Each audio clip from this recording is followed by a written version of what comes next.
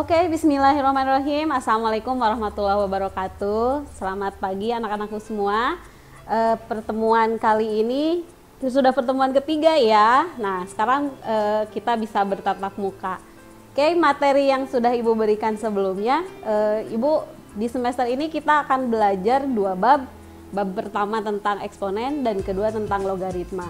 Pekan kemarin kita sudah belajar tentang sifat-sifat bilangan bulat. Nah, kali ini kita akan belajar tentang sifat-sifat dari eksponen. Oke? Okay?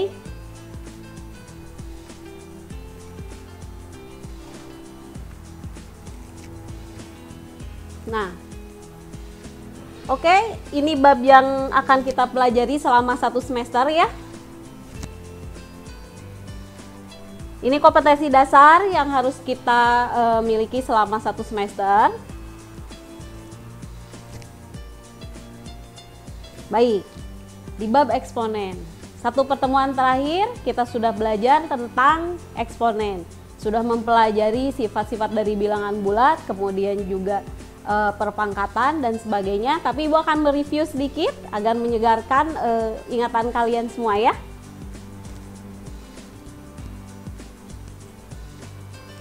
Apa saja yang akan kita belajar e, akan kita pelajari di pelajaran eksponen? Yang pertama bentuk pangkat dan sifat-sifat eksponen, yang kedua fungsi eksponen, kemudian bentuk umum dari fungsi eksponen, grafik fungsi eksponen, dan menggambar grafik fungsi eksponen.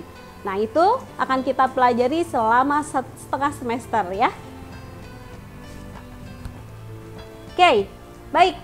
Selanjutnya, nah, Ibu akan ini menampilkan contoh soal atau permasalahan yang biasanya diselesaikan menggunakan konsep dasar eksponen.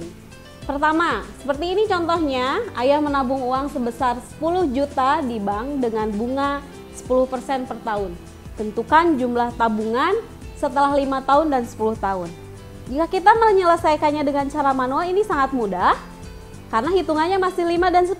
Bagaimana kalau kita menyelesaikan uh, soal ini apabila pertanyaannya di uh, semakin banyak misalnya bagaimana uh, jumlah tabungan setelah 20 tahun dan seterusnya itu akan lebih sederhana jika kita menggunakan konsep dari eksponen. Oke, lanjut.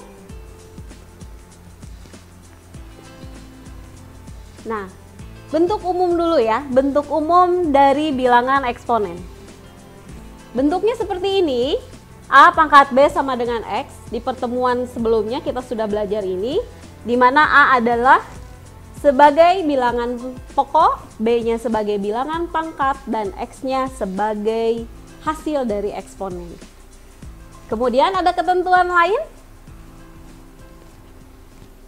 A bilangan pokok itu syaratnya harus bernilai lebih dari satu eh lebih dari 0 maaf dan A-nya tidak boleh sama dengan 1. Kalau lebih dari 0 berarti setengah boleh ya.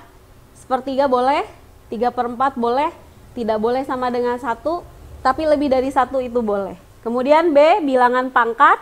Bilangan pangkat itu seluruhnya anggota bilangan real. Jadi untuk bilangan pangkat boleh 0, boleh negatif dan boleh bilangan positif. Jelas ya?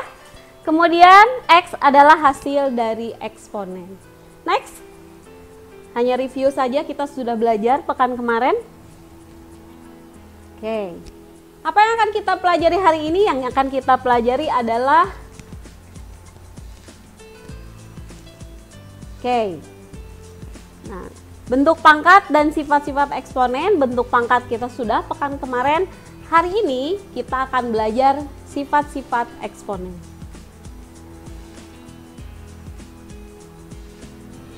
Itu materi yang sudah kita dapat dari pekan kemarin ya. Masih ingat kan? Sifat-sifat eksponen.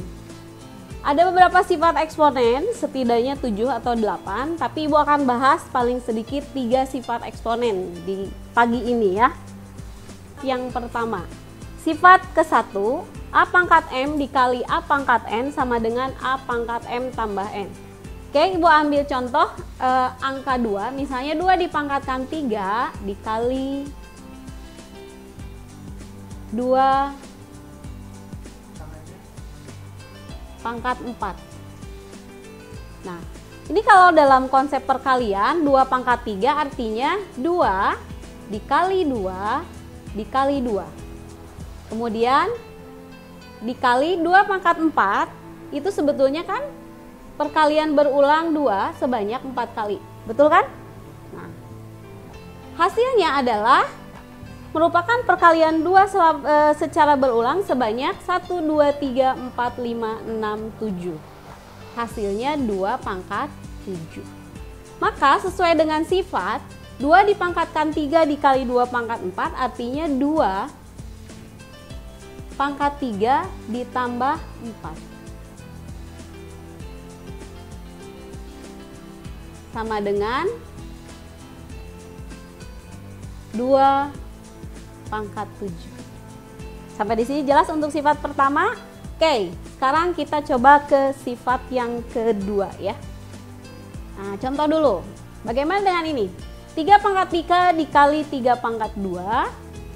Kalau konsep panjang tadi seperti itu, tetapi karena kita sudah belajar sifat-sifat eksponen, maka kita bisa langsung mengerjakannya dengan menjumlahkan. Jadi, 3 pangkat 5. Selanjutnya nomor dua kalian boleh mengerjakan sendiri. Oke, kita ke sifat yang kedua.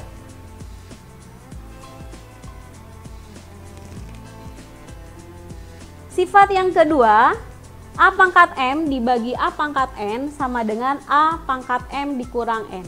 Kita coba dulu konsepnya di angka dulu, biar lebih mudah. Ibu misalnya mempunyai angka 3, Oke, sebentar ya.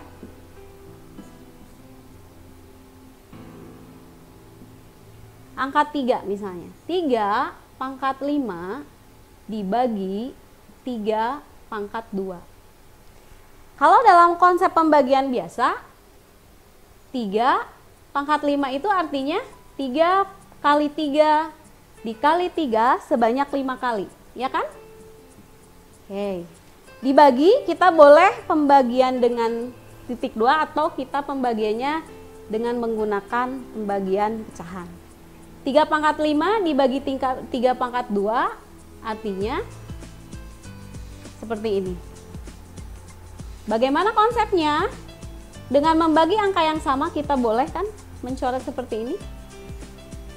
Nah, artinya 3 dibagi 3 1, 3 dibagi 3 1. Sisanya adalah 3 pangkat 3. Kalau menurut sifat-sifat eksponen, ini tinggal dikurang saja. 3 pangkat 5 dikurangi 2. Maka hasilnya 3 pangkat 3. Oke? Selanjutnya ke sifat ketiga. Oh ini contoh soal dulu ya, contoh soal dulu. Kita kerjakan sama-sama untuk soal nomor satu. Sudah tadi. Sekarang kita soal yang kedua. Soal yang kedua 2 pangkat 3 dibagi 8.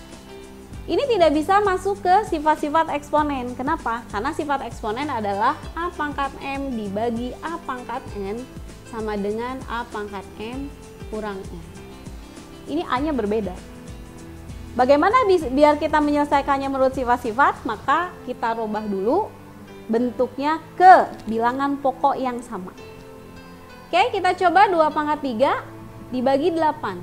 Nah, 8 itu adalah 2 dikali 2 dikali 2. Berarti 2 pangkat 3. Ini nilainya sama dengan 8. Gitu. Berarti kalau kita menggunakan sifat eksponen yang seperti ini, 2 pangkat 3 dibagi 2 pangkat 3 sama dengan 2 pangkat 3 dikurangi 3. Hasilnya 2 pangkat 0. Berapa nilai dari 2 pangkat 0? Di pekan kemarin kita sudah belajar sifat-sifat bilangan bulat.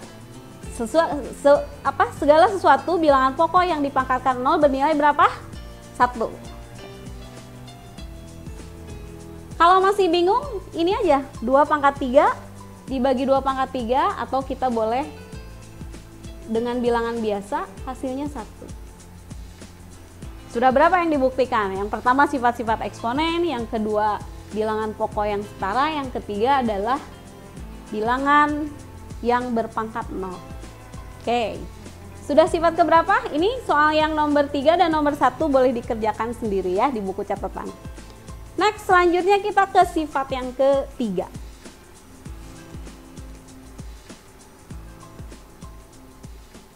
Baik, sifat yang ketiga ini adalah sifat perkalian. Sifat perkalian, sifat eh, bilangan pangkat yang dipangkatkan lagi. Kita dengan contoh, contohnya pasti lebih mudah.